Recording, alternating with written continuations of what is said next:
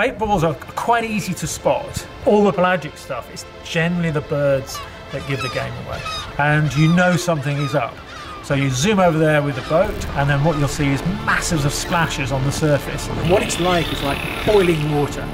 And there's hundreds and hundreds of fish flying through the water chasing their prey.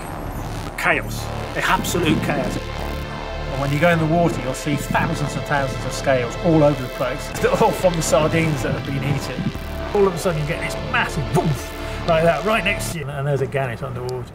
They swim incredibly fast, probably 30, 30, 40 knots.